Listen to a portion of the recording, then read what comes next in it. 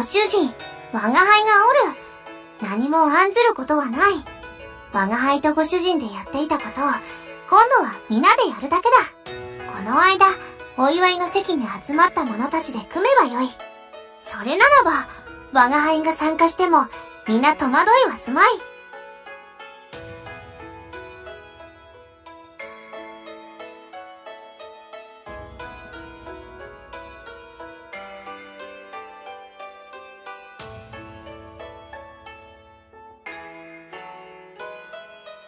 僕はそれでもいいよ。若い人たち中心なら。どのみち、多分正臣くんがリーダーになると思うけどね。ですよね。有津さんで決まりですよ。ご主人、お上際が悪いの。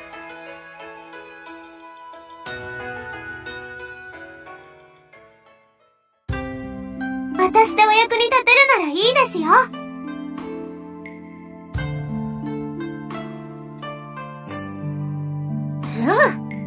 ぱりレナはいい子だな、ご主人。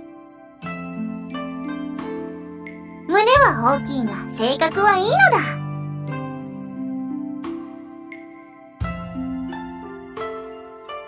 ありがとうございます、レナさん。このお礼はいつか必ず。お礼なんていらないですよ。お友達のために頑張るのは当たり前なのです。万国共通なのであります。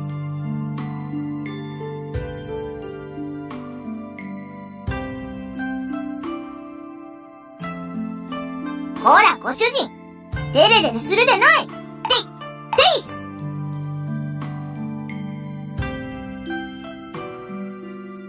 嘘をつくでない。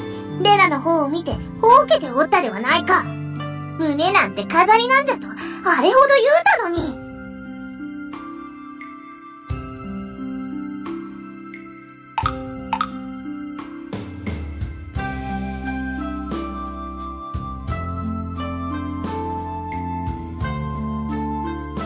そうしていただけると助かりますね。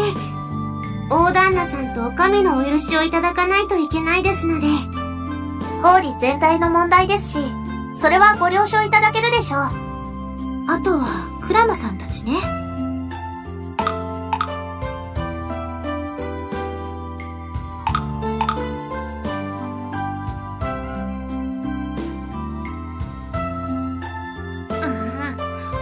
ご主人がエッチいからいけないのじゃ。